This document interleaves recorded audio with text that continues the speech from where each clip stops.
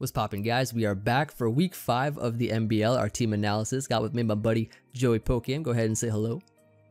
What's up, guys? Pokeaim here with the next week of the MBL versus Shofu and Duncan. Got a matchup against Team WeDisney.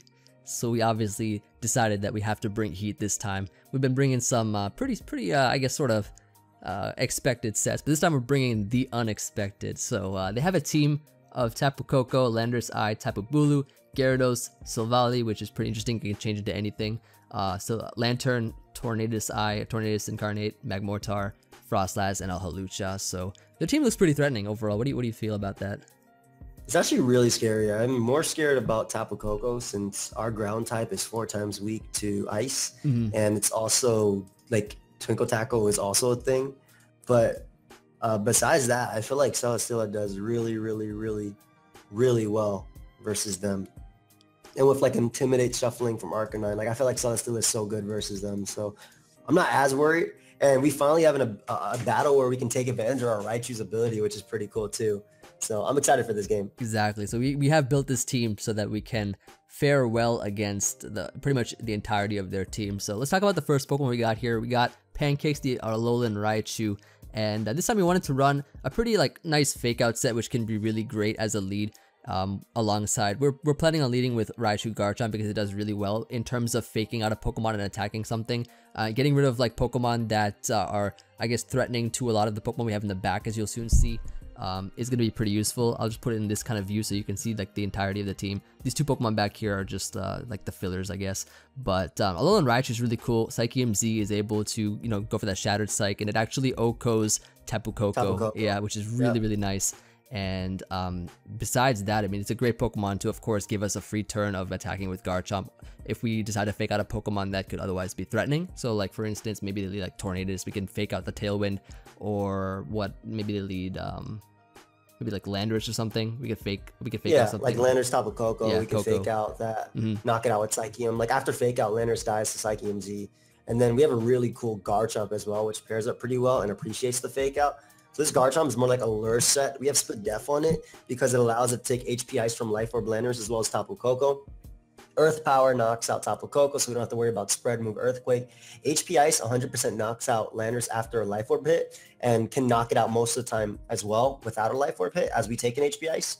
And then we have Poison Jab as well. And when we Mega Evolve, it means that we knock out Tapu Bulu. And we're also faster than Jolly Tapu Bulu. Right, so. exactly. We have set the speed to be faster than max speed Jolly Tapu Bulu. Even without investment, like Joey said, we still, we OHKO um, Bulu completely.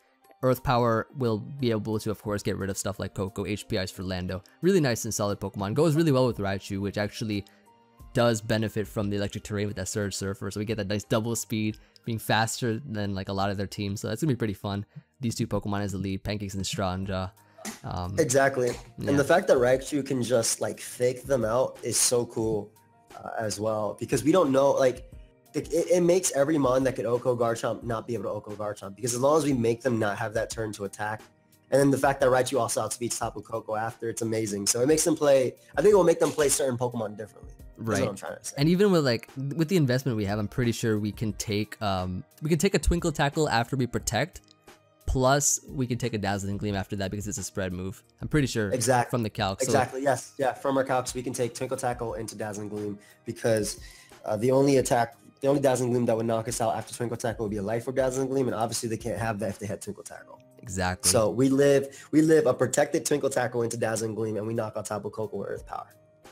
Yep that's that's actually pretty clean. Like the Garchomp, it has some reasonably like decent bulk, so that can actually come into a play um, versus their team. And we have some pretty nice special attack. yeah, this is the heat set here. Earth Power, Earth Power Mega Garchomp. All right, tell me when the last time you saw that. All right, next, moving on. Earthquake. Yeah. Yeah, we got uh, Celesteela is so cool versus them as well. Like Spadef Celesteela was uh, Bulu naturally. It was um, Silvally. Silvally's really weird too because we don't know what type. I don't. I don't think they're they're not set to a type. They can use any type, right? They can use any type, right? Yeah, exactly. But like Leech Seed Protect is just so great versus their team, and like it, it just it pretty much it, it, wears stuff down. We have the Electric Seed here because that just gives us okay. This is the fun thing, right? We get a defense boost right from Electric Seed. We get a defense boost. We have a max special defense, so we will get beast boosts into our spec uh, into our Spadef stat. Yep. making this, and then of course acrobatics will activate it into its max exactly. power once we use up our yeah. item.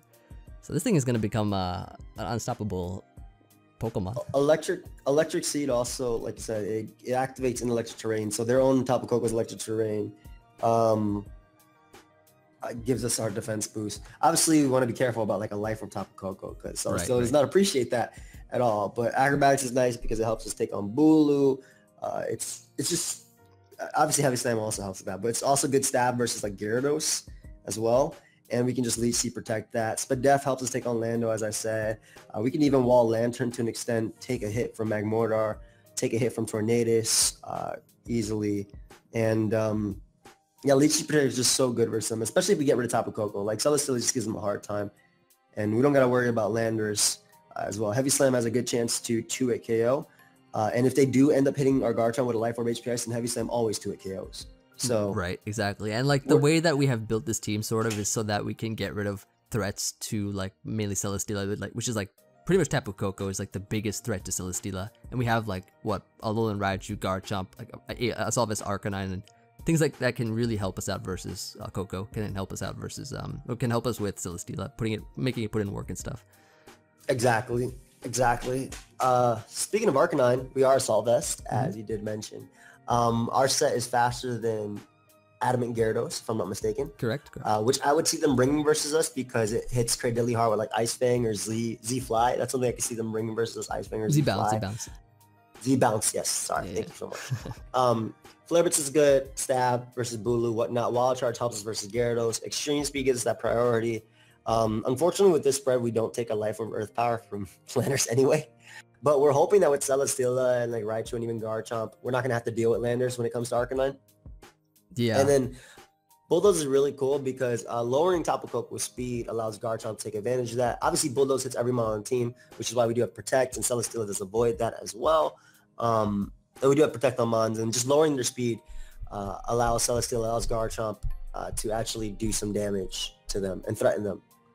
Like yeah. a slow Tapu Koko, Celesteela can 2 KO.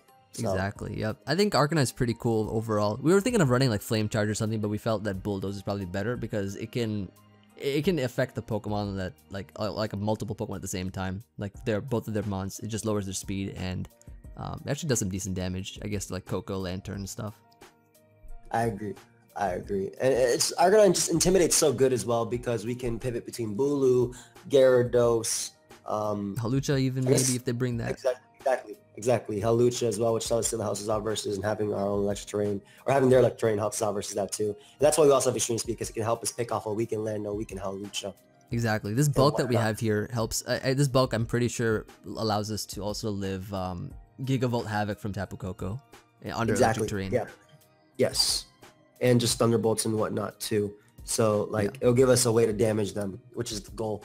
Uh, you want to talk about Cradily? Yeah, Cradily here is a really fun set. And actually, like looking at their team, um, which of course you you will obviously see on the right side of your screen. I don't think I mentioned that, but I'll put it up. But it actually puts in some really good work versus their team. I'm looking at it right now, and the only way they can really deal with Cradily is by like attacking it maybe with like they have to go for like some kind of really strong Z move or even like I guess Life Orb Landers is a good option versus it but um, yeah. overall like the like the typing that we have with like Seed Bomb Rock Tomb it hits like literally everything on their team. And if we curse up we like physically defensive curse so we can actually even set up on Bulu as well. Yeah exactly like a physically offensive Bulu. Um standard Bulu, Bandit, even uh, Bandit would hurt. Bandit would kind of yeah, Bandit would kind of hurt. Kinda, Bandit kind of KOs, I think, if not close to. It's crazy how strong Bandit is, but I don't think they bring Bandit versus a team with Celesteela, Arcanine, and whatnot. It's kind of why we like have Rocky Helmet because it, it just punishes physical attackers mainly that try to go for us, and they actually have yeah. a decent number of them. Like for instance, Gyarados, uh, I guess also Hawlucha, Bulu, uh, potentially what Silvally maybe if they're like Swords Dance or something. Yeah, agreed. Uh, we originally had a Z move on Cradily, but when we were working out the order that we wanted to put the Mons, uh, Cradily always ended up on the side with the other Z move Mon. So yeah, it was tough to figure it out. So we ended up, we were talking about Rocky Helmet, we were talking about uh, Chople Berry, we were talking about a few things. Ended up deciding on Rocky Helmet just because the chip damage on Gyarados could be cool.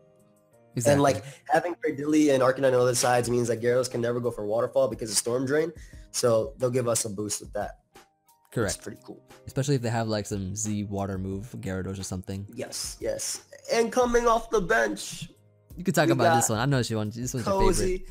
Our Comfey. I think Comfey's so cool in this. Uh, floral healing is sick because it heals our, our teammates by 50%. So like if Celesteela is at 50%, uh, we do have triage floral healing, which makes it go back up to 100. Under grassy terrain, it heals 75%, which is pretty cool for Arcanine, for Garchomp. Um, actually, maybe not so much Arcanine because I think Arcanine is going to be on the same side as that. But like for Celesteela, it's pretty cool. Yeah, like, and we're thinking like, of keeping uh, Celesteela. Well. Yeah, Celesteela and Cradily on the same side. So like, vers- like for those two months specifically, that's gonna be so nice, dude. Yeah, exactly. And then we have uh, obviously priority draining kiss, and then we could think of a last move. So we put calm mind. I think that was the, the best option because it gives us a chance to potentially sweep, like set up on maybe a Tapu Koko that's been weakened or slowed down, so we can get the calm mind up before mm-hmm. it actually does anything. And then protect is nice with leftovers. Draining Kiss, obviously we're going to be healing a lot. It's going to be smooching all them Pokemon. And maybe getting off like a last-ditch effort chip hit on Landorus, on Koko, on Bulu, which would, might be necessary to kill with Raichu. Yeah, uh, even for like Hawlucha cool as that. well. Like Hawlucha could probably be uh, maybe it just the Calm Mind helps us get that more sort of power versus that maybe. Exactly, exactly. And like you said, we wanted the um, we wanted like chip damage from it. That's the main thing, like to support the team and maybe get off chip damage. Yeah. But like mainly support the team with floral healing. And then if we need to get off a hit with it, we do get a priority draining kiss. And that helps out with Hawlucha a lot. Like if it gets out of hand, can definitely help out with it. That's right. Yeah, I like this team a lot actually. Um, it looks really fun. I agree. Like we're we're, we're, bringing we're bringing Comfey off the bench. We're bringing that. We're bringing back. Cradily is always fun to use. Um, yeah, Arcanine's cool. Celesteela is of course annoying as always. Garchomp says heat. Garchomp is pretty heat. Earth power. Rare Celesteela hasn't done anything though in any games we used it. I feel like everybody over preps for it. For what? For Celesteela. Yeah, and like I guess. I, I I understand why we're bringing it. We need to bring it. A Landorus. A Landorus, a Bulu. bring it. Yeah, a Tornadus even. Exactly, exactly. But even in this game, like they have Tapu Koko. They do, so, but I feel like our team is pretty overstacked for Koko. Like looking at it, like take a look, man. It's, I think we have like a lot of things for Koko. No, I, I, think we're fine versus Koko as yeah. well. I think we're definitely decent versus Koko. But um, yeah, I'm excited. We got our two uh, decoy mons in the back. So on the bench this week, we got Buzzwole and Suicune. Two of the mons that were like pretty much MVPs throughout the entire weeks. Uh, maybe like bringing that, we feel we'll kind of throw them off in guessing what mons we're gonna bring versus them. It's true. It's true. I'm hype. I'm hype for. I'm pretty game. hyped, dude. Like, they're, they're in the they're undefeated. So they're undefeated. Really cool. I'm pretty sure this is like the most what anticipated match this week, if not one of them at least. So it should be fun. Like I'm excited to face them. And they're like, and I mean, you know Shofu more than I do, but I I know Duncan pretty well. So it's like, what, what's it called? It's like uh, it's like mentors versus students in a way. I didn't tutor nobody. I mean, I helped Duncan a little bit, but um, back in the day. You didn't help Shofu? uh, what? No. Never. Shofu's my boy. He just always play Pokemon. I just chill with him. Yeah, whatever, dude. You helped him. You you got him to where he is today. Don't ever deny that. Okay. And I I created I created. Definitely uh, isn't bigger. Definitely isn't like. I created Disney. I'm, I am Disney. Okay. Yeah.